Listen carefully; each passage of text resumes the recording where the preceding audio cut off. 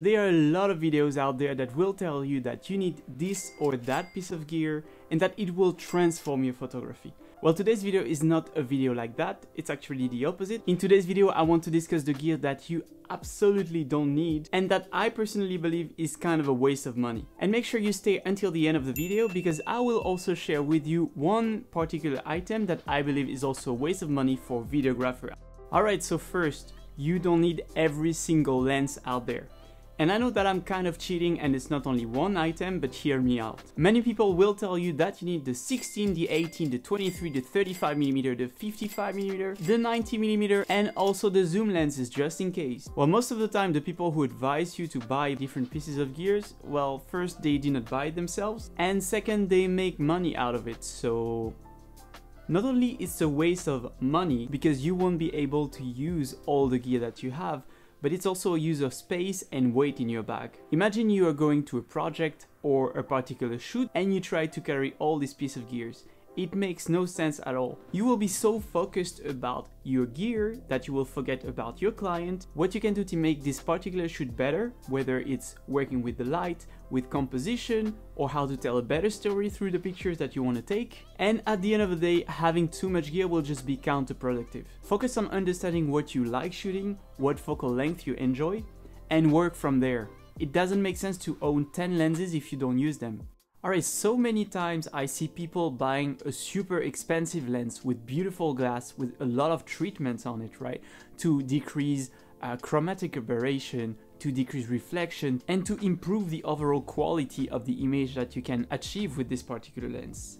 And in order to protect the lens, they buy a cheap UV filter on Amazon and just stick it in front of it. Well, congratulations, you just transform your beautiful, expensive lens into a kind of piece of Now, every single picture that you take with this lens will be affected by this cheap, inexpensive, untreated piece of glass that you stuck at the front of it. The image quality will be decreased, you will have reflection, and all possible defects that come with cheap glass. If you want to protect your lens, my advice would be to either buy a more expensive UV filter to stick in front of your lens or get insurance for your gear. Personally, I stopped using UV filter for that reason and so far so good. I tend to take care of my gear, so hopefully I will not break anything in the future, but if you want to get a filter to protect your lens, at least get a good one. Alright, so you will hear a lot of YouTubers out there tell you that GorillaPod are amazing and it's an essential piece of gear. And if you have a GorillaPod, you don't need a tripod at all. Well, I think that's complete a GorillaPod might be small and compact, but it cannot do what a tripod does, meaning that it cannot extend, it is not as stable, it is not as flexible in terms of height, in terms of orientation. You will always be limited wherever you go and whenever you bring it.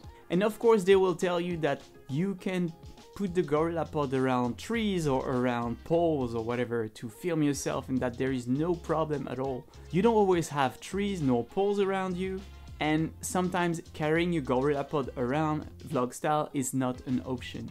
So if I were you, I would get a real tripod instead of a GorillaPod.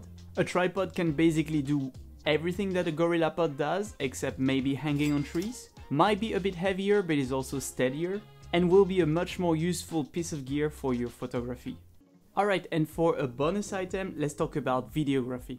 So like a lot of us, I saw a lot of videos praising gimbals and how they're getting smaller and smaller and how they are an essential tool for any videographer out there. I decided to save up some money and get one because I was to work on more video projects and well let me tell you that so far I haven't used it much. I'm not saying that gimbals are complete trash and useless but all I'm saying is that they are a really niche piece of gears for action shots or to follow your subjects around. And while I'm still owning my gimbal today, honestly I would advise against buying one. Are you shooting that many people running around all the time? You can take good videos without using a gimbal, and I think that most people don't need one. Alright, so I hope that you enjoyed today's video and if you did, make sure to leave a like and subscribe to the channel. And if you want to know what kind of gear I own and actually use on my projects or shoots, then check out this video right here where I describe the gear that I'm using in 2022. See you there!